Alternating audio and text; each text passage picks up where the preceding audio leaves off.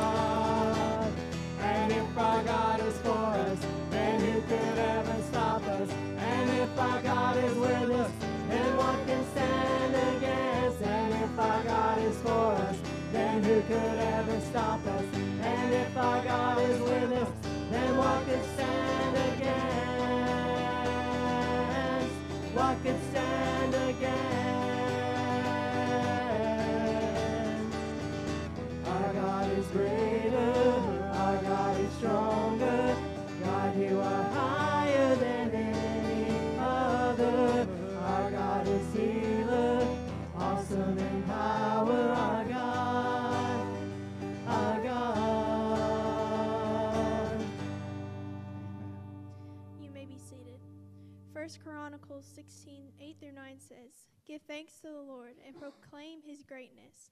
Let the whole world know what he has done. Sing to him, yes, sing his praises. Tell everyone about his wonderful deeds.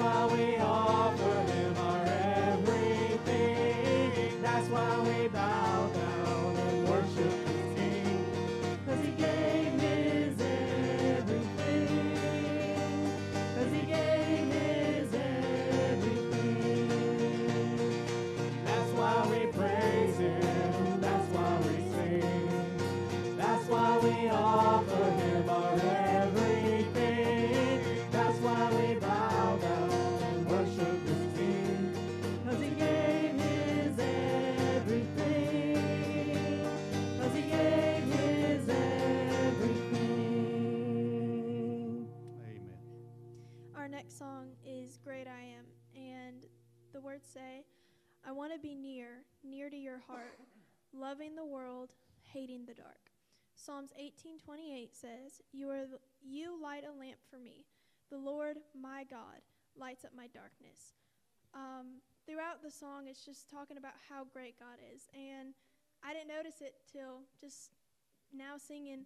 But the last two songs have been talking about God being our light, and I mean, where would we be without light. We'd be walking around in darkness, not knowing where we're going. But thankfully, we have a loving God who shows us light.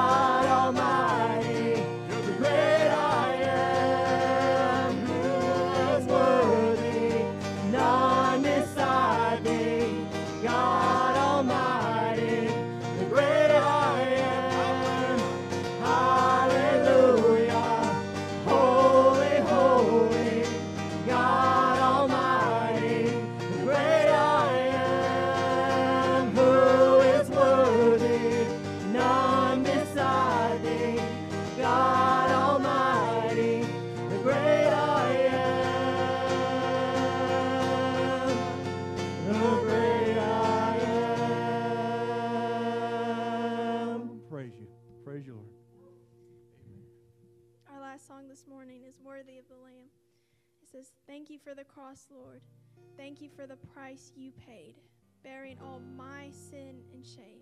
In love you came and gave amazing grace. He is so worthy of all our praise.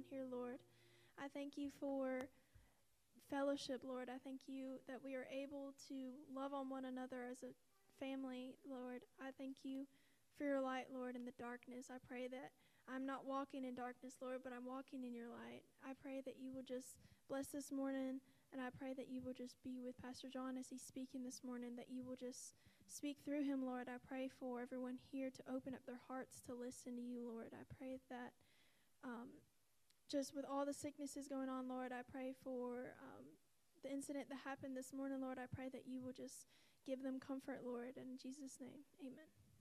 Good morning again. Welcome to service. We're so glad you're here. If you're a guest today, we're glad you're here today. My name is John Howell. I'm pastor here at First Row Baptist Church. I get the great privilege to be here to stand before you to present God's word to you. and to challenge each one of us each and every day to live out His Word. Several announcements going on. If you want to look at your bulletin, you're welcome to do so. Um, our church, again, for those who may or may not know, we have an old band that's just it's just not working anymore. It's the as is. It could be a good hunting blind. It could be a project you can work on, do Bible studies, or if you just need something to go shoot at. It may be great for any of those things. Uh, but until October 1st, we'll take in seal bids. Myself, Brother Gary, he's not here right now. But if you like to take a bid on that, I, will tell you right now, no one's given me one yet. So you husband and wives, you guys want to argue and fuss and fight about that? Don't do it. But anyway, uh, no one's given me a bid. As far as I know, I hadn't think anyone's got one to Gary. If you want to reach outside of our church, let other folks know. It is as is. I mean, you will literally need to get it towed away. Everybody with me? Everybody understand that? it's probably not going to drive. It's probably not going to crank. So it's available. It's about a 95, 99. Yeah, it's great. Anyway, 15 passenger. Liberty Executive, uh, Executive Committee meeting will meet tomorrow night at 6 p.m. Several of us are part of that. Uh, again, in the fellowship hall. We will have a men's fellowship this Tuesday at Gary Clark's house. If you need some address, something like that, let me know. I have that available. I can give that to you. We'll meet at 6. I think he's going to hang up his sign, go home by 8.30 so he can go to bed early, you know. So anyway, uh, we'll be at Gary's house. It's men's fellowship. Uh, if you're a young man, if you're a teenager, I used to bring my boy when he was about 12, 13. Him and I used to go to stuff together. Bring them to. We'll probably spend just a short amount of time in God's Word, but mainly we're just going to hang out and men being with men. It's, we need that. We need that encouragement. We need that fellowship. Scripture says, as iron sharpens iron, we sharpen one another. Uh, don't forget, there's several more work days available at camp. You can help out September the 19th at 9 a.m., uh, September 28th at 8.30. Also, our Senior Adult Summit, don't forget, uh, that's in uh, Orlando, 14th through 16th. Miss Betty, Brother Donnie, we got four or five so far supposed to be going right now, five right now. If you'd like to be a part of that, you're welcome to. I usually go as a chaperone. We actually ha- also have a, a, a, mission board meeting going on that week as well, so I'll be there as well in Orlando. So if you would, uh, don't forget about that. I did forget to put in the bulletin my fall on this. October uh, 13th is our association meeting. It's a Sunday afternoon at 3 p.m. We will meet at Piney Grove Real Baptist Church right here in Chipley at 3. It's a fellowship time. We got a guest speaker. And if some of you don't know who I'm talking about, some do, you'll, you'll know. Brother Randy Bryant, who has served as our state executive director for, gosh, I think nearly 20 years, I do believe is correct, is officially retiring. And uh, he has given his resignation, and he will be speaking as our guest speaker here uh, in Chipley on that Sunday afternoon. So if you'd like to come out and see Brother Randy, I probably him and my Miss him and Miss Diana both uh, will probably most likely be here, and then they will leave, myself included, right afterwards. We probably won't be able to hang out a whole lot for fellowshipping afterwards, but then drive to Orlando for the conference the next morning. Uh, I have a mission board meeting that Monday morning, so if you would pray for that, uh, pray for that. Also know there will be executive the com- executive committee for the state will be interviewing. I know at least a couple people who are interviewing for that position. Pray that God will lead us to the correct man that God wants to be executive director for the state of Florida. Uh, don't forget also our Christian Workers Conference. Our deadline is not to October, but if you'd like to be a part of that, please let me know. Paperwork's available here. Any other announcements? Anything overlooked? All righty. At this time, we'll dismiss our junior children church. That's our preschoolers, junior children church. And we do have several new helpers. I've got that laid out there. Matter of fact, I think Miss Amanda's going to start keeping those on the bulletin each week. If you want to know ahead of time, let me know. I can get those out to our young, some of our younger teens are helping us out with that. Thank you so much. Praise the Lord. We got four right there in pre, preschool or children's church. That's exciting. Now for our children's church, that's first through sixth grader. You can be dismissed as well. First through sixth graders. Awesome. Thank you, guys. Praise the Lord for our young people, and thank you all working. Those who step up and work, thank you so very much. Uh, our church is not a one man show. I, I, think you know that. Uh, if you've been around here long enough, you understand that. We all do something somewhere.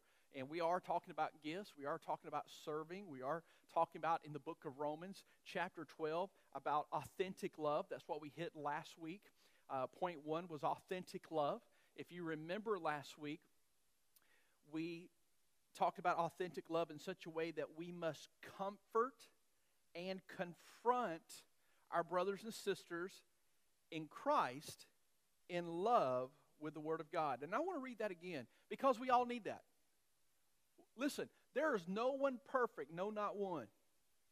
We're all going to, hey, sometimes we veer off the road. Amen? You ever been, a, who in here will be honest? I want hands raised now in church.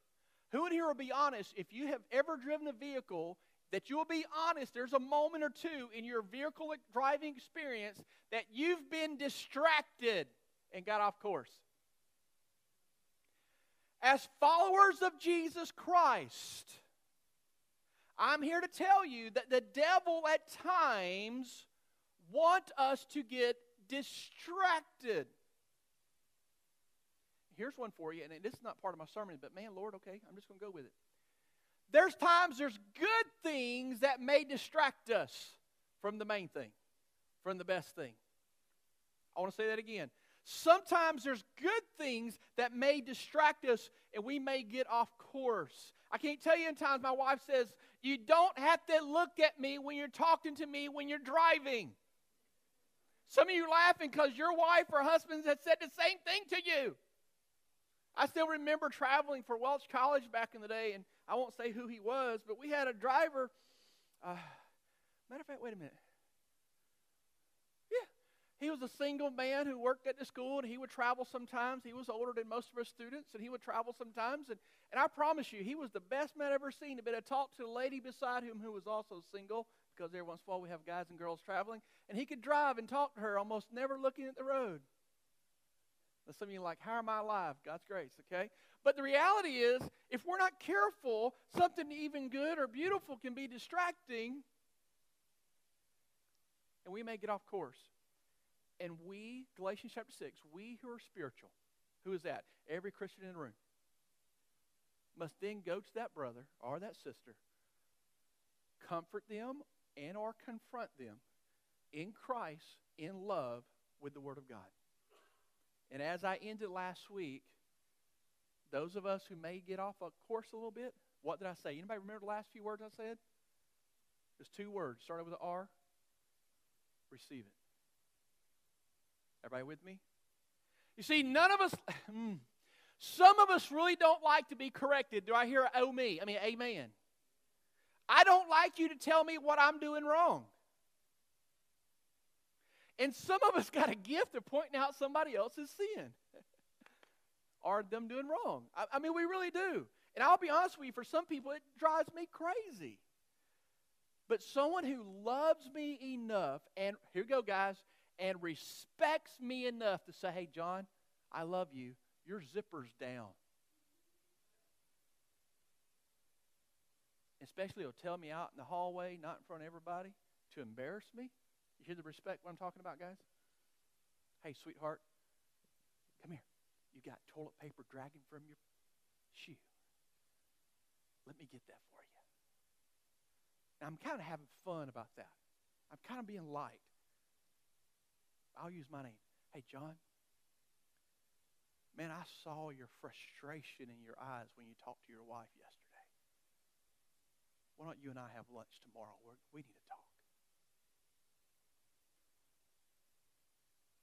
I'll use my name. John, I saw you take a double look and a triple look and the fifth and sixth look at that young waitress as she walked by. I saw your daughter look at you, John, and she saw what you did as well. You and I need to have a conversation.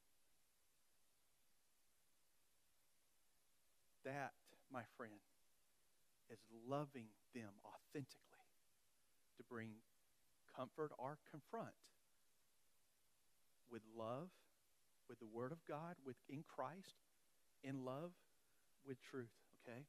Speak the truth in love. Why? Because here's a fact. The devil wants to destroy your home. The devil wants to destroy your life. The devil wants to destroy your children. Here's one, in case you don't know this, the devil wants to destroy your local church.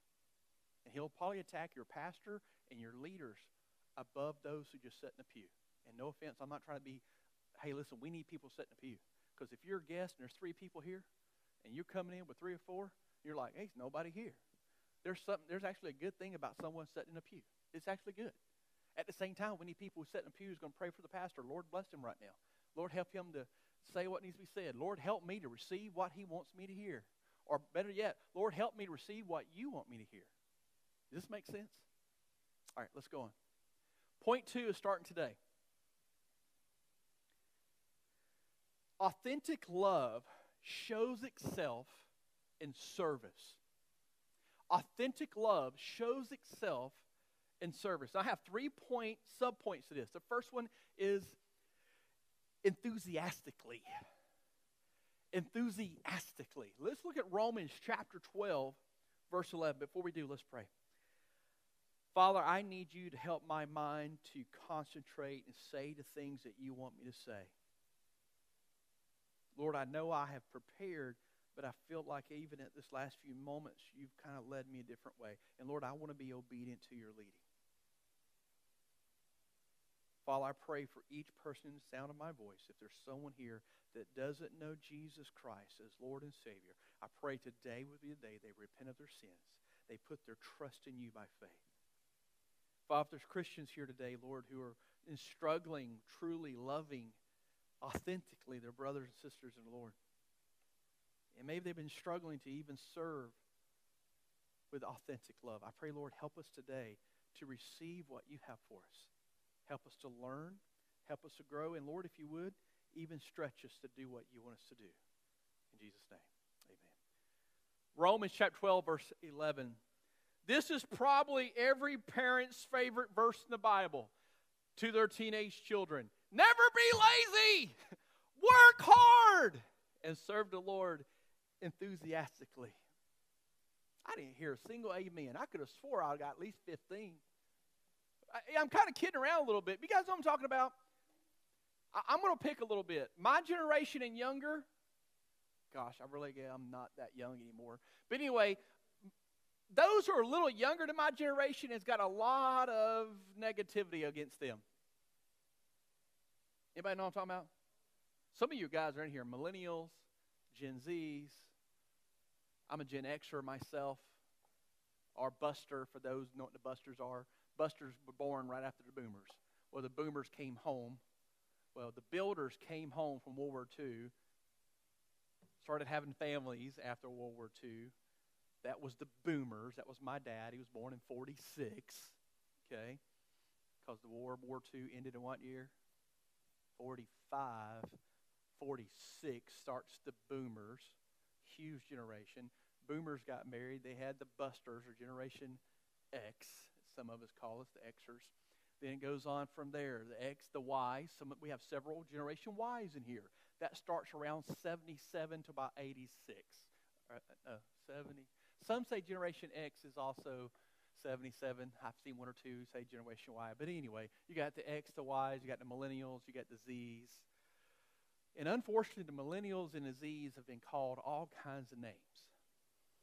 Now, ultimately, hear my voice if you really struggle with generation millennials and generation Z's, it's us, the busters' fault because the way we raised them.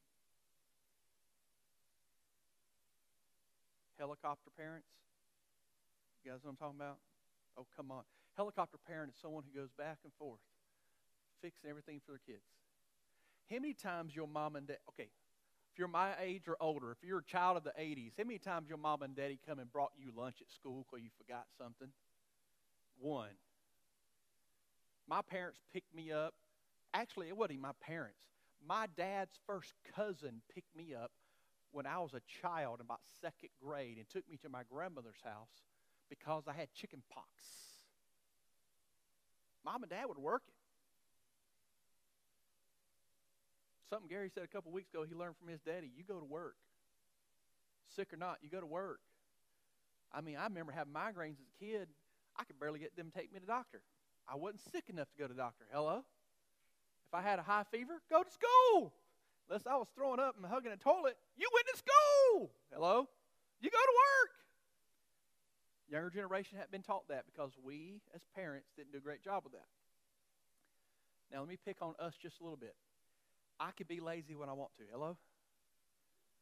You know what I did? You know what my wife and I did yesterday? First time we did it together in a long time. We took a day off. I mean, we got everything done on Friday so we could just rest on Saturday. We watched almost a three hour movie together yesterday. It's crazy. Based on a real events. Now, why am I saying that? Some of us never stop working and that's not good either. But some of us have been beat up too much about not being lazy. I mean, being too lazy. Well, let me tell you what Paul told the church of Rome. When was this written? First century. Never be lazy. So this is nothing new, folks. I would almost guarantee the boomer, the builders and boomers probably said the same thing about us Xers. You're lazy. You need to go work. I can't tell you how many times my dad looked at me. You got a job yet? How much money you been saving? What are you going to do for a living? You guys ever did to parent kids? I'm telling you, I was only in fourth grade, but he wanted to know what I was going to do for a living. I'm kidding. I am kidding. I'm kidding. I'm kidding. Oh, never be lazy, but work hard and serve the Lord enthusiastically. So, what does this look like? I kept thinking, what would this go? What would what would be in a great example biblically? And I was reading out different commentaries. One pointed this out. I'm like, oh my gosh, why did I think about this? So, what does it look like to never be lazy, but work hard and serve the Lord enthusiastically? There is a man in Scripture. His name for a while meant the deceiver. Anybody know I'm talking about? Say it again. Real loud. Jacob. Good job. I thought I heard it over here. Jacob. His name literally meant deceiver. He deceived his daddy. He deceived his brother and his older brother, and he was his mama's favorite. He was a mama's boy. He was the inside kind of guy. His daddy was a daddy's. Daddy, older brother was a favorite. He was a daddy's boy. He was the outside wood and deer hunter and all kinds of other hunter stuff, you know. But he goes away and he goes live with one of his cousins because his older brother's going to kill him. His mom said, Hey, your brother's going to kill you. Go and live with my family. Go somewhere else. Don't die. And he goes and he falls in love with one of his distant relatives. That's kind of weird today. It's a whole different generation. But he loved her and he worked out a deal. He had no money. So he asked her father, Can I marry your daughter? Well, he's like, You got to pay for her. Some of you think that's crazy. Well, things a little different today. Matter of fact, usually it's the daddies, the daddy, the family of the bride that pays for all the wedding stuff, not the husbands. But back then, knowing that I have three daughters, I think I like the idea. Maybe you grooms should pay me. Oh, I like this. Uh, we should go back to the Old Testament on this one. Anybody else have some daughters? You know what I'm talking about? I'm having a little fun here. Come on, I'm having fun. I'm having fun. But he said, I'll work seven years for Rachel. Let me read you what the scripture said. This is Genesis chapter 29 20. I don't have it up there. I apologize. Genesis 29 20. Listen carefully. So Jacob worked seven years to pay for Rachel, but his love for her was so strong that it seems to him but a few days.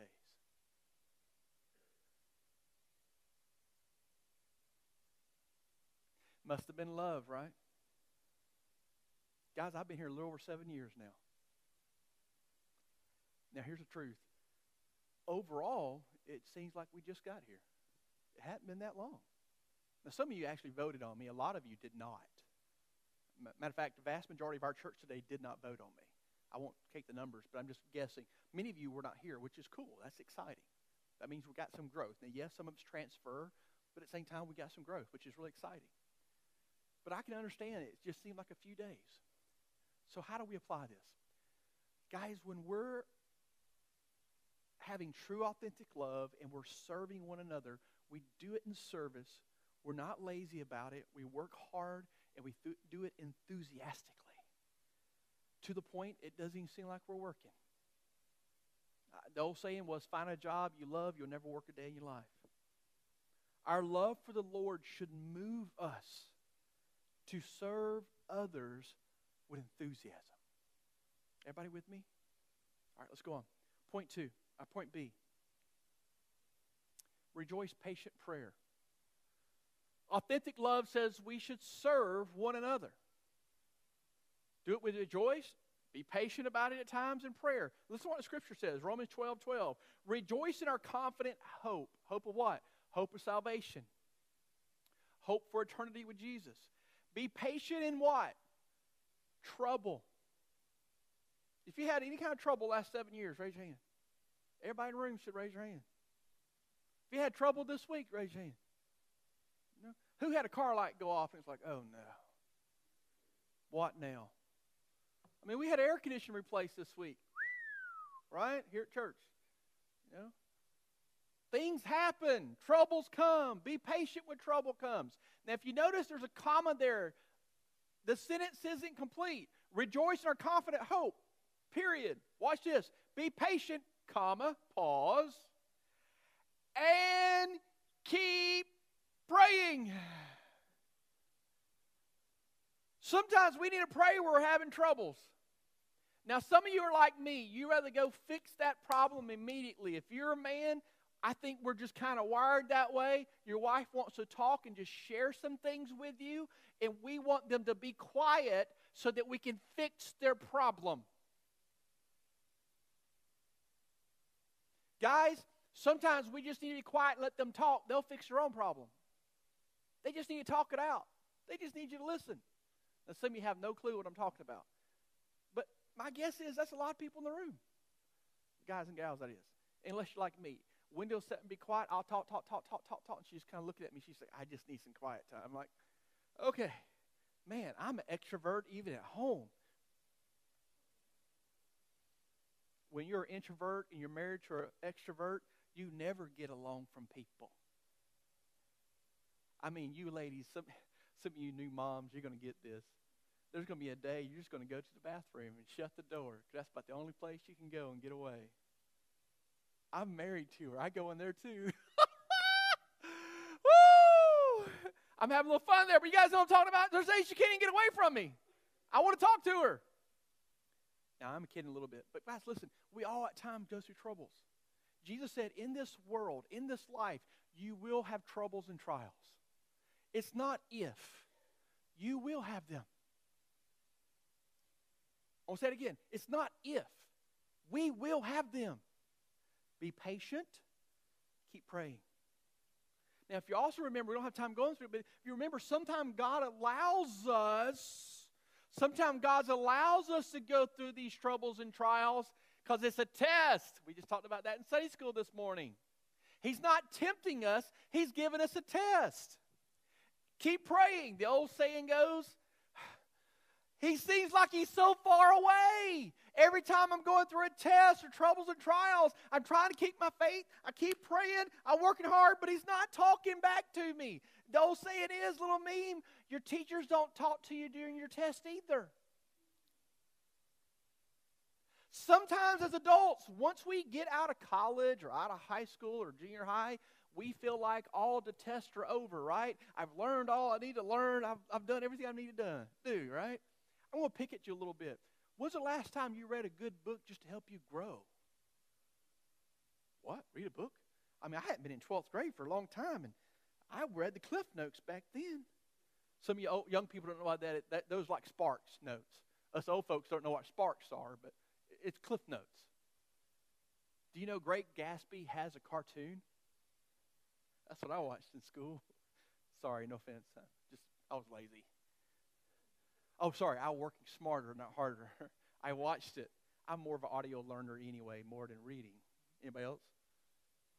Some of you don't know. Yeah, some of you, okay. Reading was my not my forte. I still struggle at times. Okay. But we need to keep praying, guys.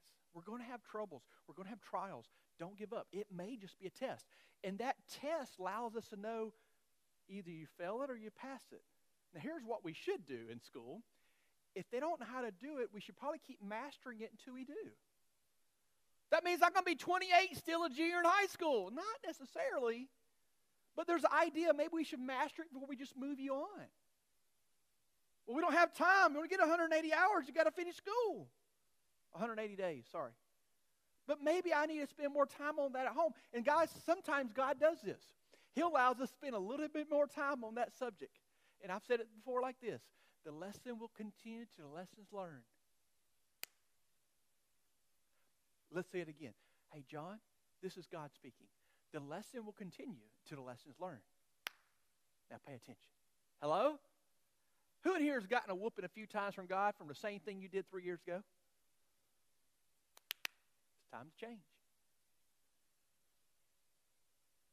I mean, really repent.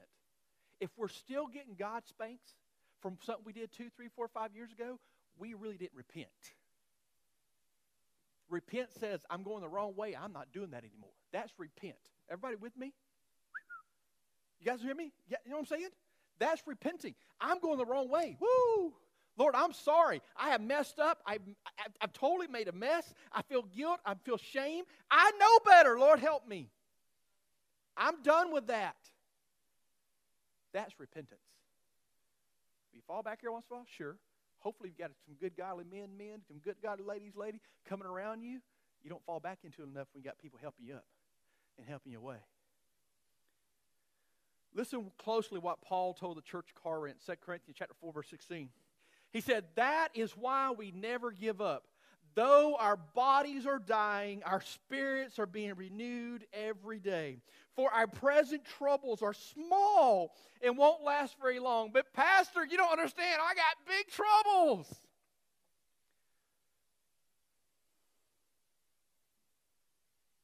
Imagine, if you would, I'm actually about nine foot tall, not standing on a platform. Imagine, if you would, you're about 14, 15 years old and you're five foot four. My name's Goliath. You're David. How big do I look? Pretty big. You see, guys, so many times we're like little bitty David when we're looking at our big old problems. We need to get our eyes off the problem and get our eyes on God because God, compared to Goliath, is an ant. Hello? We had ants in our packages this week. We got so much rain, ants were going everywhere they weren't supposed to go. So they got into our mail collecting area and got into our mail. We picked up the mail. We put it in our car because who wants to walk out there where you can drive? Right? Walking, working smaller, we're driving by it, you know. Hey, I used to have a deacon. He lived to be 100 years old. At 92, he would walk out on his porch, get on his four wheeler, and crank that baby up and ride it to the mailbox. Go look at the cows, it's like, man, I, hope I can ride a four wheeler when I'm 92 years old. He said, I can't get around. It's about the only way I can. you know, he was kind of quiet, but that was pretty neat. That was a cool, cool reason for a four wheeler. He lived in farm country. He was a, I said, old poor dirt, dirt farmer. He said, how about just a dirt farmer? I don't know if I was a poor dirt farmer. I was a dirt farmer. I'm like, okay, you know. Knew God well. Him and his wife were amazing people. Loved them death. Now, why I say that? in his 90s or in his 70s, they would still go around to nursing home and sing and play music for everybody in nursing home. In his 70s. I want to pick up some of our old folks real quick. Don't quit working. I mean, I know sometimes physically we can't do what we used to do, but you can pray. Your, your job, your job may change, but your ministry doesn't. You might just pray more. You may not be on your knees playing with the kids. You may be praying more. You may be writing letters for encouragement. Some of you guys know how to text. it's funny. But anyway, and you try to text and you make phone calls and you encourage one another. Folks, all these problems we go through, they're real little when it comes paired to the eternity and hope we have in Jesus Christ. He says, For our present trouble are small, won't last very long. Quit looking at your big Goliath problem. Look at how big God is compared to that little bitty Goliath. Everybody with me? All right. Yet they produce for us glory that vastly outweighs them and will last forever. So we don't look at the troubles we can see now. Don't look at Goliath. Rather, we fix our gaze on things that cannot be seen. For the things we see now will soon be gone, but the things we cannot see will last forever. I can't see God, but I can see the effects of God in this world, in my life, in my home, in my family. I love that. And there's times we focus too much on our troubles and our problems. Let's focus on God. Point three, uh, point C. When Alexander started turning about 12 or 13, this is a word, a set of words I said to him a lot. And I said that all the way through college. So, you men, listen to me. Young men, listen to me. There's going to be a day when your daddy's going to need to have a conversation with you. And if your daddy don't do it, then look for a good, godly Christian man to look at you and say, step up. I almost added this one, show up. There's a moment in time you need to step up. Less video gaming, less playing, step up and becoming what God wants to become is a godly man. And every woman in the room should say, Amen. There's a generation of young ladies who are not being pursued because their, bo- their future husbands are still boys at 26, 28, and 32 living at mom's house playing video games.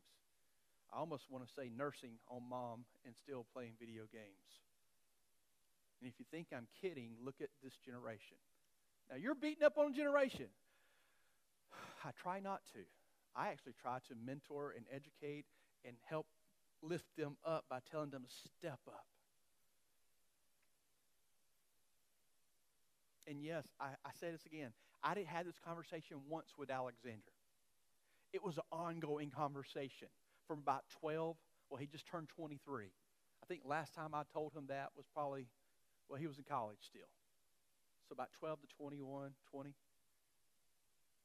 there. you got to keep stepping up. You got to keep stepping up.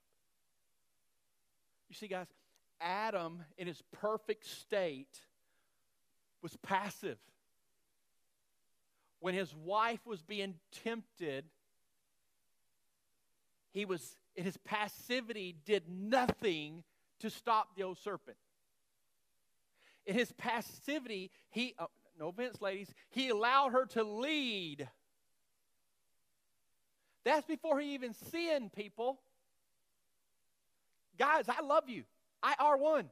We have a lot that we're going to be answering for because how we have and have not led our family. Amen.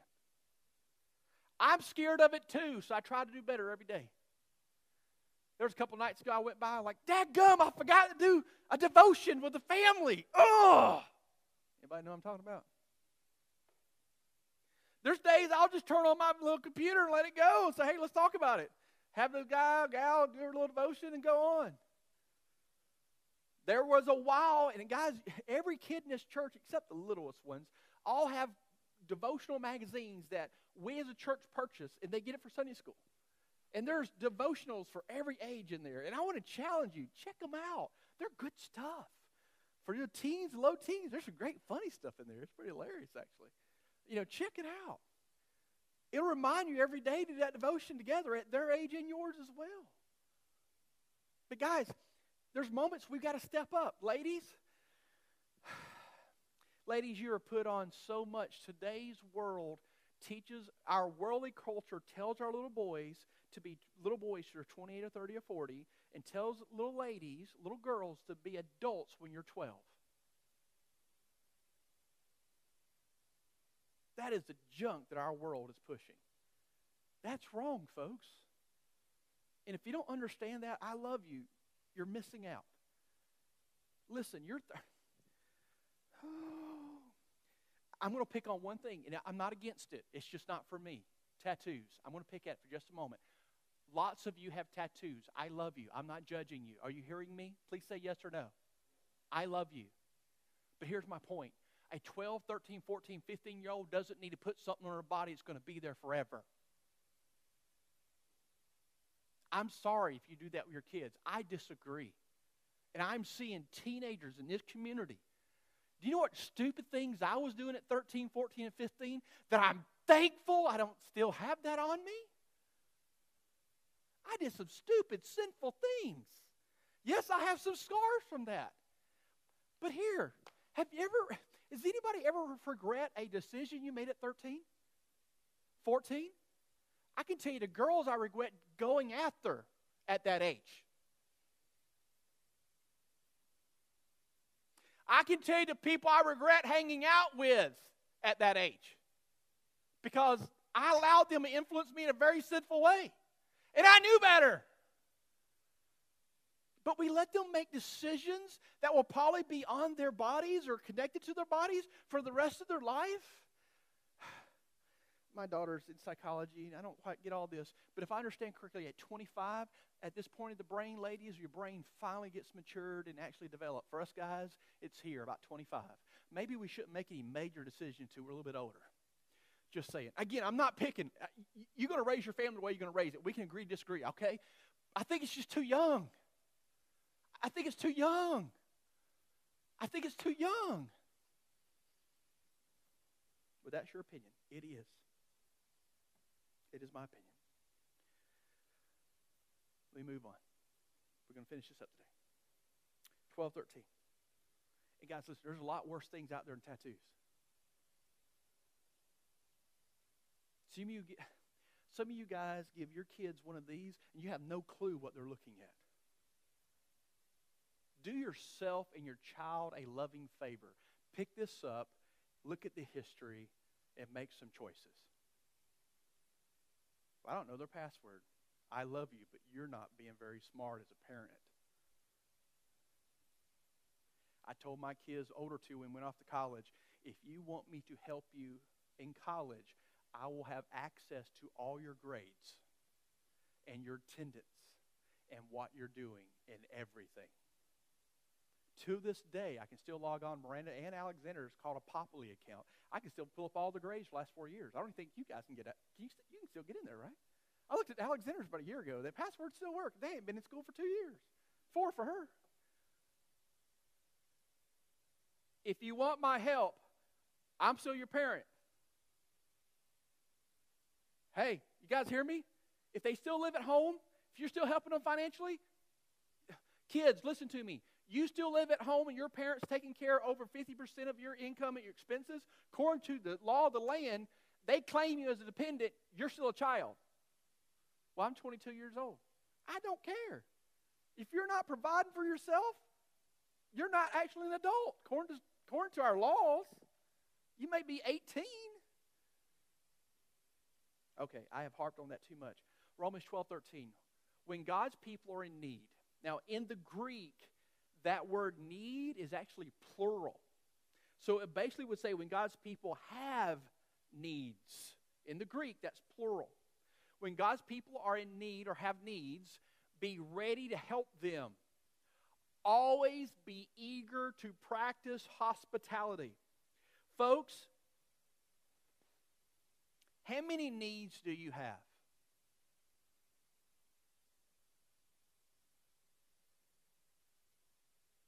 Your deepest need is Jesus. That's everyone on the planet, period. We need oxygen. I probably need healthier food, but food. Shelter will be nice. No offense. Thank God for clothing. You know what I'm saying? Whew, you would mm, thank the Lord for clothing. You know? Those are our basics. The for sure thing we need is Jesus. I want to run through this. There are times as our Christian family have many needs. I want to run through a list, see if they identified any of you at any time last, let's say last 12 months. Material needs, financial needs, emotional needs. How about this one? A need for someone to understand.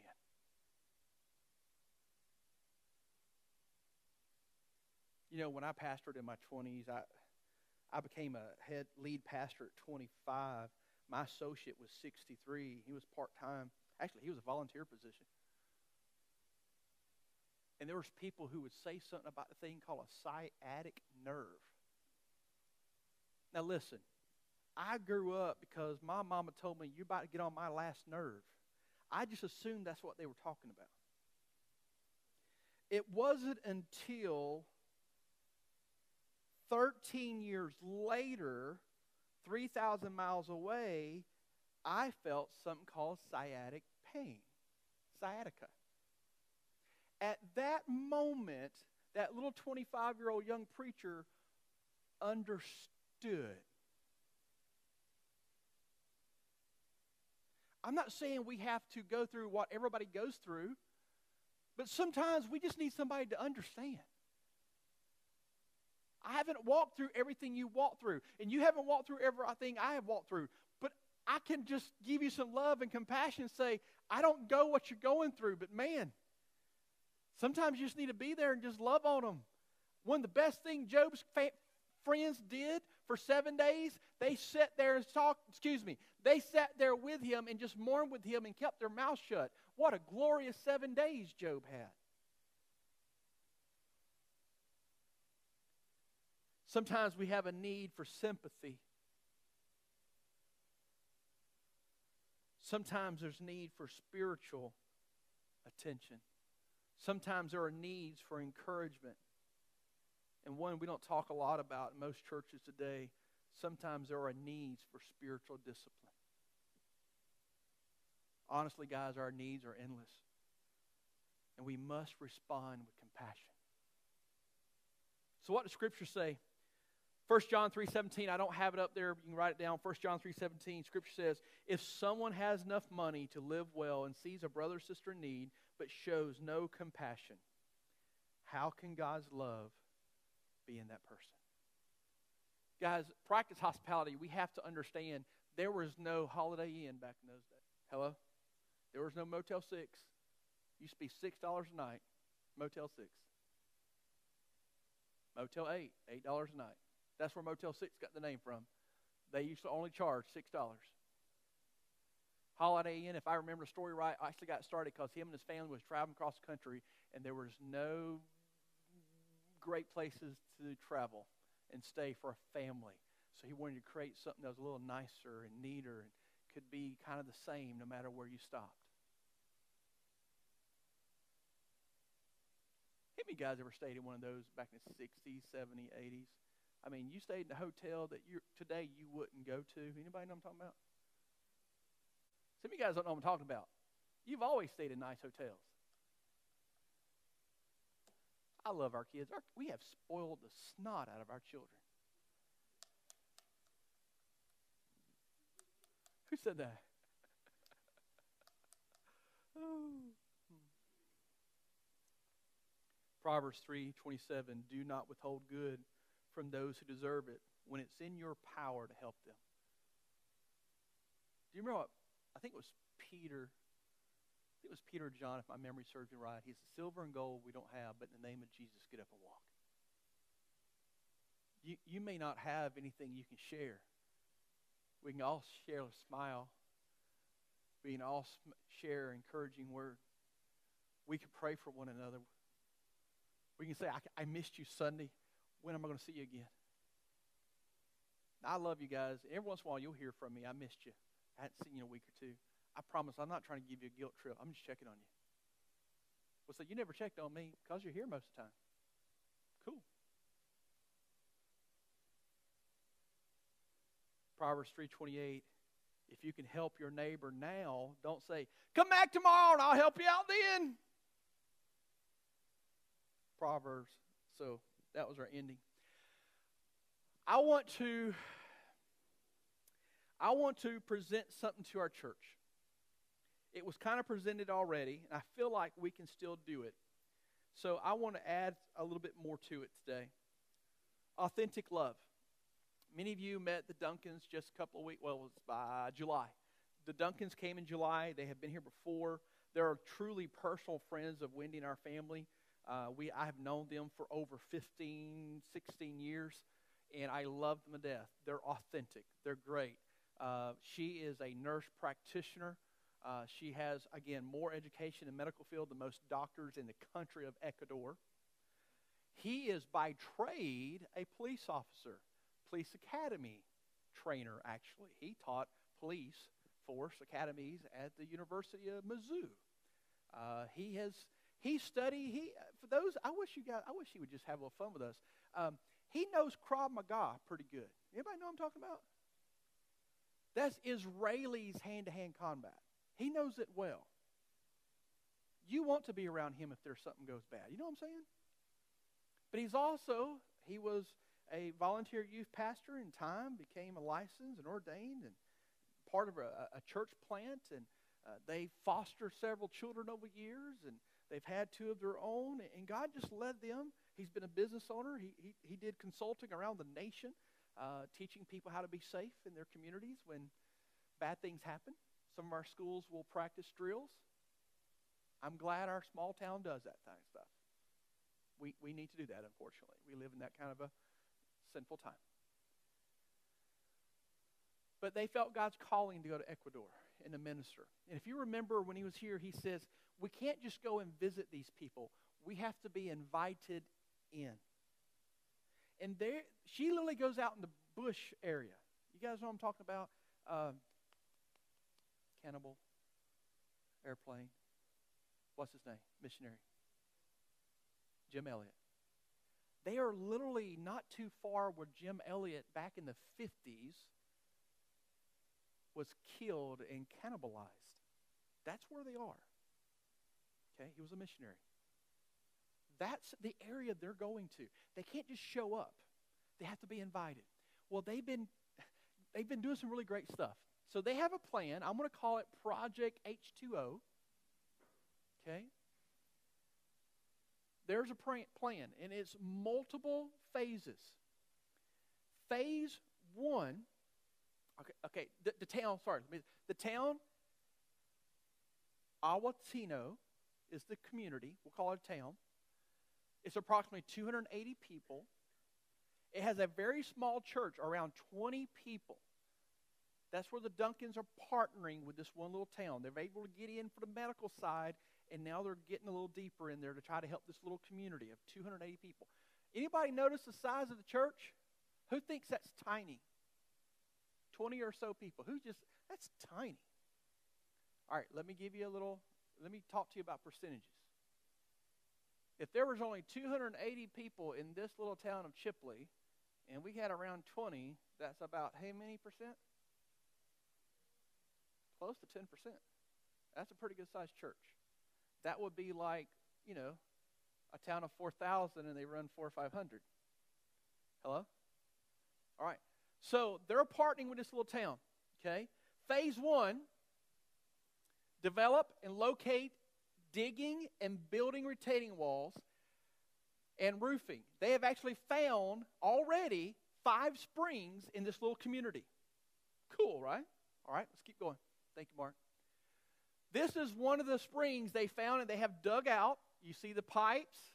That looks like something I would rig up at my house, right? And of course, I don't have the code. I, I would probably not be doing the codes correctly, but that's something there. Next slide. They have now built retaining walls. Okay, see the retaining wall? One of the workers there. Next slide.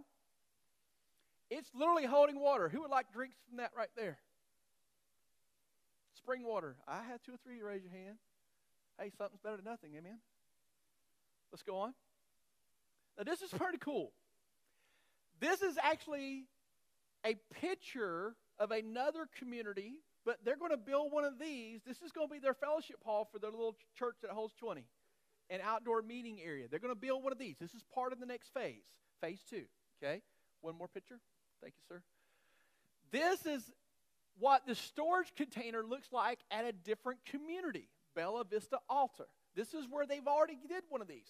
So this is what they want to do in phase two. And they're asking for our help on phase two. Phase one is actually already completed. They've already did all that. They found five springs. They have dug them out. They have put up retainer walls, and they, they're holding water. Phase two, they need help with water delivery, on site storage, that big blue tank. That's one of probably five they will need. Round numbers, this is what we're looking at about $650 for a pump. 2500 for storage tanks. It's about 5 times 5, about $500 a piece. Okay? Next slide. Thank you, Mark. 2500 for pumping supplies, a pipe, a plumbing supplies, the pipes, the fittings, the valve, around 300 for electrical supplies, gotta love this, and $50 for chlorine to shock the storage tank before they actually use it. So that adds up to you mathematicians around 6,000. Now, if I remember correctly, talking to Miss Stacy, she's our treasurer, we took up an offering with our VBS, and that one day we took up around $1,700. Here's my challenge to our church I just had to redo some plumbing. Our well needed work at my house. Brother Thomas helped us out, got us connected to a plumber work on it. Brother Thomas helped us out. Between that and a filtering system, we spent about 4800 for a family of, well, now four. What if we could spend 6000 and help 280 people or so get water? Clean water, spring water. I feel like as our church, we're small. This is not taking from our tithes and offering. We just had to replace seven, eight thousand dollar air conditioning. Hey, praise the Lord, the old one went 19 years. If you don't understand, that's really good. If we can get another 19 years out of this one, woo, that was a good investment. I mean, oh, hallelujah, you know. But guys, we're talking $6,000. There's some of us in this room or in our church spent a lot more than that in our own personal wells, and it feeds our family. I feel like we could do this. Now, this is my hope for us that for the next six, I, I want to do less than six to 12 months because their goal is to get this completed in 25. But we don't need to take all of 25 to get the funds ready because they won't be able to complete it. They'll need the funds before the end of 25. So I would love to spend the next five or six months setting aside above and beyond our tithing offering to help make this happen so that 280 people, approximately, can get water. And here's the great thing do you understand how this works? She can go in with the medical side, he's going in with the water. Now, that water is spring, it's natural, but that water has contaminants in it. And that water needs some cleaning.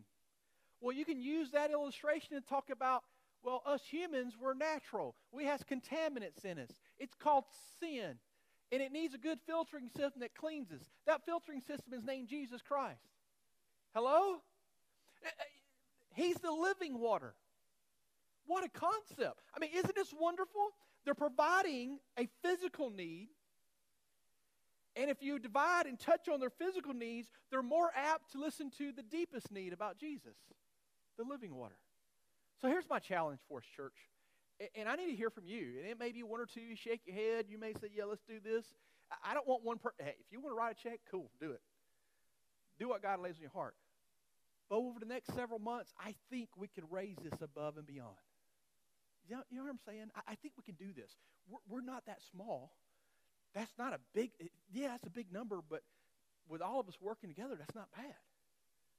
I mean, that's not bad at all. I mean, we're not 100 in here. Let's say we're 50 in here. I'm estimating. I know we got kids in here, but hey, kids can work. Every mom and daddy should have said amen. kids can work and do chores. Amen. I remind my kids every once in a while this is not a country club. We all work in this house. Howell, you're going to work. now clean your room. I want to walk in here tomorrow. You know? Actually, I want to walk in here today. Actually, I don't want to walk in here at all. Just keep it clean. Hello? Come on, I'm having fun now. You know I'm talking about Miranda because she's sitting right here. She has her own place. I don't look at her bedroom at all. But anyway, authentic love, serving others. There's a need. I feel like our church can meet that $6,000 need. We've already got about 1,700. We can do the rest. What does that look like? I don't know. Let's see if I, see if I can do math. If six people did a 1,000 each, no. If 12 people did 500 each, no if 24 people did 250 each, uh, 24 and 20, if 48 people did 125 each, there's probably 48 or 50 people in here. I, I mean, okay, 125 divided by, let's say 5, because it's easier on my math. That's six months. So 125 divided by 6, how much is that? $30? 50 5 times 5, 20. Why don't I have my calculator out? In, country, in the county schools, you couldn't use your calculator, but in the city schools, they could. 125 divided by 6. That's $20 a month. Divided by four weeks. Don't buy coffee for one week, one time a week for $5.20, and donate that coffee money or your energy drinks or your going out money to the project H2O. Put your checks H2O. Okay? Credit cards H2O. Envelopes H2O. I, I think we could do that. I, I mean, my girls are, well, youngest is about to turn 15, but she can earn $5 a week. You know what I'm saying? I mean, she may come to you and say, hey, can I come babysit? Don't let her do it for free. Because she's got somebody she needs to bless. So, guys, here's my hope is that we as a church can show authentic love to people we never met before in Ecuador so that they can have some clean water and they can hopefully hear the message of Jesus Christ. And one day we'll get to see them in glory one day and say, hey, I prayed for you. I helped supported you. All praise to Jesus. Not praise to me, all praise to Jesus. Let's pray. Father, Lord, as we pray, Lord, we thank you for your grace and mercy. We thank you so much for men and women, even in their 30s and 40s, answering the call to the mission field. Hallelujah, that you're still calling men and women. Hallelujah for the men and women who will answer the call and say, Yes, Jesus, whatever you want me to do, wherever you want me to go, I am yours. I'm going to show love. I'm going to show authentic love. I'm going to love you, Jesus. I'm going to serve your body. I'm going to serve your church. Lord, I'm going to serve those who don't even know you. Father, in the name of Jesus, I pray a blessing over the Duncans, families they're working with. I pray, God, that souls will be saved and lives be changed.